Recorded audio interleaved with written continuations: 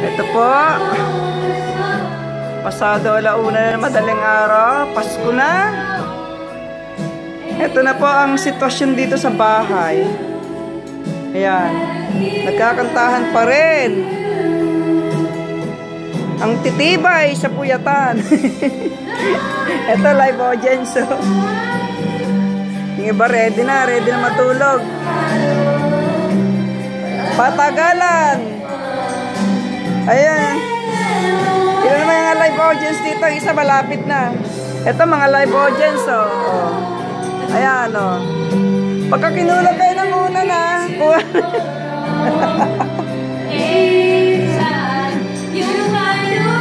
Ayan. Ang gagaling. Naka. Wow! Epekto ng puyat yan. Epekto ng puyat. Gwapo ni Allen, no? Magkasing gwapo kayo ni Red.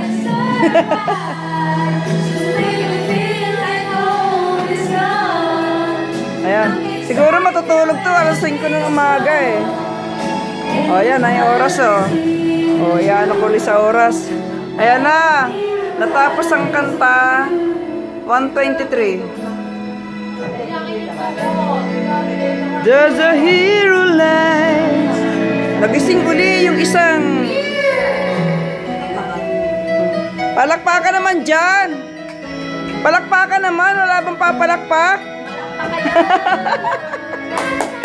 Palakpakan! Pa! Ayan, napilitan lang.